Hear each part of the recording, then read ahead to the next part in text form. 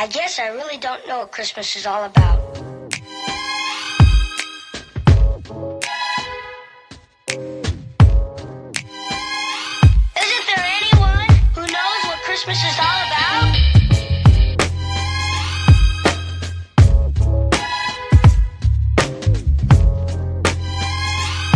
I can tell you what Christmas is all about. Chestnuts roasting. like frost nipping at your nose. So I'm offering a simple phrase.